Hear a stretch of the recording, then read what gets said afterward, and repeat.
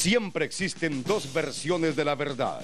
Estos son los casos de la vida real donde los litigantes esperan el veredicto del juez Manuel Franco. Firmó. No he dicho eso. Pero esa no era la firma. El dinero cayó en su cuenta. Y cuando cayó el dinero en su cuenta, pienso que usted dijo, ay chihuahuas, mira nomás qué divinidad. Alguien me regaló unos centavos, yo ni sabía, ¿verdad? Hola amigos, ¿qué tal? Yo soy Fidel Juárez, esta es la Corte del Pueblo y como siempre usted es nuestro invitado de honor. Bueno, ¿es usted una de esas personas que de repente despierta con una idea fabulosa? ¿O de las personas que sueñan despiertos con llegar a ser inventores? Si ese es su caso, tenga mucho cuidado, no se lo confíe a nadie. Precisamente de eso se trata nuestro siguiente caso, una persona que está acusando a su mejor amiga de haberle robado la idea. Y no nada más eso, de intentar hacerse millonaria con esa idea. ¿Lo logró? Bueno, investiguémoslo juntos. Quédese conmigo y veamos este caso. Michael, you want to call the first case, please? All right, Your Honor. Our first case today, we have Oda Pesa versus Navarro. Please come ver, forward. pasen, por favor. Señoritas, por favor, pasen. Imagínense que se van a casar, ya van corriendo al altar como si fuera un huracán. A ver, dígame, ¿de qué se trata su caso? Bueno, el tema es que yo tenía una idea para un programa de radio y Sí. mi amiga, supuestamente era mi mejor amiga, me lo robó. Sin saber que yo ya tenía los derechos Eso no es registrados. cierto, señorita. Espérese, que ya tenía los los derechos. derechos registrados, los derechos de autor Sí. registrados y ahí nunca se puso a pensar en el riesgo de nuestra amistad. Y eso me... Bueno, oiga, ¿qué tiene que ver la amistad? Eso es un negocio. ¿Sí o no? Nosotros- Ok, usted tuvo una idea, Sí, la registró. sí. ¿Dónde eh, y este, cómo supo ella? ¿Le había contado a ella? Le conté a ella como mejor amiga que... Bueno, ya ve qué tenían- pasa con los mejores amigos, sí, salen lo siendo los peores enemigos. Y entonces usted le contó a ella, ella tomó la idea, Y se la llevó a un productor para poder realizarla. ok. Y no me contó ella eso. Bueno, y hasta ahora, ¿ha conseguido ella dinero? Bueno, ella no me quiere decir nada al respecto. Ella me, lo único que me pidió fue perdón y me dijo... ¿Se que- hincó cuando se lo pidió? ¿Cómo? ¿Se hincó cuando se lo pidió?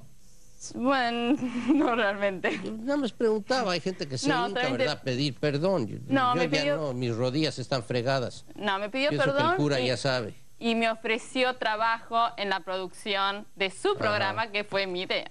Tu idea. Ok. Sí. A ver, dígame, ¿de qué se trata todo esto en su opinión?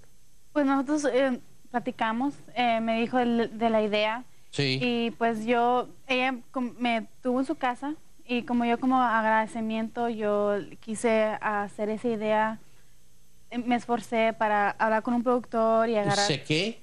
me esforcé para agarrar un ¿Fue productor. tan difícil?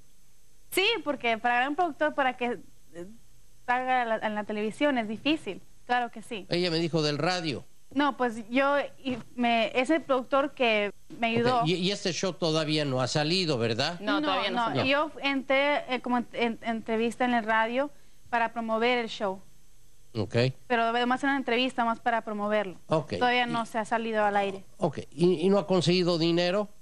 No, eh, No. en- ¿Ha visto usted este show No, en, solamente... en- en la radio? ¿Ha- eh, ¿Lo, ha oído? lo escuché en la radio. La estaban- promoción. la promoción. No, no hablo de la promoción. Está saliendo en la radio No cada sale día. todavía al aire. Ok. Este, está saliendo en la televisión cada No, día. tampoco. No. Entonces, si usted conoce a las estaciones de radio y, y televisión, acá no pagan por anticipación. Acá el músico pagado por anticipación canta mal canción. Aquí en los Estados Unidos, si no hacen el show como ellos lo quieren, no lo aceptan y no pagan. ¿Qué significa? Significa que posiblemente esta señorita haya tomado una idea suya. Le voy a dar una idea mía, a ver si usted eh, puede hacer esta lógica de, de esto.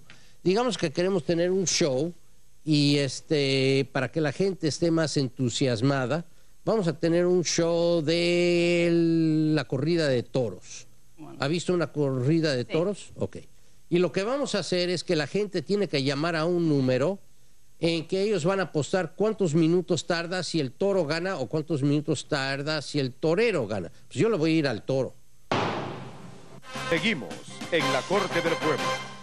¿Y piensa usted que esa sería buena idea? Probablemente, no, no he visto ningún programa que exista. De esos, ¿verdad? No. Eso, Eh, yo le doy esa idea a usted. Usted va y se lo menciona a 20 estaciones de televisión y todos la ven a usted y dice, oiga señorita, pienso que usted necesita ir a ver a un psiquiatra porque anda un poquito este, con los tornillos sueltos.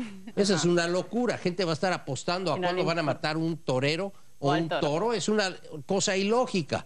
Pero a usted le gustó la idea. Final de cuentas, después de que usted gastó 16 años en esto, Sí. yendo por todo el mundo tratando de vender esto, nadie se lo compra. Viene usted a mí y me dice, oye, traté de promover tu idea, Manuel, y gasté 16 años de mi vida, quiero que me pagues un millón de dólares. ¿Piensa que la ley va a decir que le tengo que pagar algo? No. No. Pero si usted robó mi idea y usted consiguió dinero, entonces, ¿quién, ¿a quién me tiene que pagar? A mí. Porque fue el, el que originó la idea. ¿Me entiende usted? Ok. A base de eso, quiere decir, para poder ganar un caso, tiene que haber un mal, ¿correcto? Sí. Y el mal es que esa señorita se robó su idea. No Sí. lo robé. Bueno, eh, La usada. prestaste. Ok, la prestaste. ¿Te gusta más la palabra prestar que robar? Usemos prestar. Pero la señorita no ha sido totalmente capacitada para vender esto. Significa que no hay un daño. Ejemplo, ¿ok? Sí. Estamos manejando en la calle. Me paso la luz roja. Enfreno a lo loco. Y el coche va y te da un golpecito en el guardafango de atrás, pero son los nuevos que resisten impactos de 20 millas por hora. Tú no te dañas y todo sale bien. Hice mal en pasar la luz roja. Hice mal en pegarle a tu coche. Pero tu coche no tuvo un daño y tú no te dañaste. ¿Qué consigues de eso? Nada. Nada. ¿Qué vas a conseguir hoy día? Lamentablemente, aparentemente Nada. nada. Tenga buen día. Gracias. Dios la bendiga. Gracias. All right, ladies. Ah, Excuse me, miss. Follow me, please. We're going out one door here. Thank you, Good. Michael. How are you today? All right, I'm doing great. Allow me to talk to the old lady back, please, okay. A ver, por, por favorcito, para acá, ¿qué experiencia sacó usted de esto?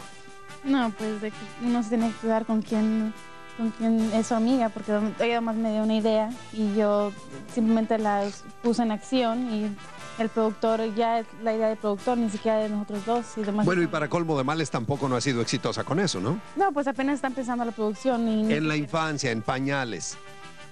La idea, me refiero, está en la infancia, en pañales. Claro que sí, claro que sí. Eh, está, está empezando, esperamos que sí sea un éxito y, y ella hasta le ofreció un trabajo en la producción y Bueno, esperemos, esperemos que tenga mejor suerte en la próxima, que le vaya muy bien. Muchísimas gracias. Acá está la salida. Amigos, gracias por habernos acompañado en este caso. Vamos a una pausa, volvemos con otro caso más en la Corte del Pueblo. Pero antes, juntos escuchemos la información al día. La señora Oropesa continúa haciendo proyectos para futuras producciones, pero todavía no ha vendido ninguna de sus ideas. Por su lado, la señora Navarro, a los pocos meses después del juicio, realizó el proyecto con mucho éxito, pero hizo algunas modificaciones del original. Esta fue la información al día en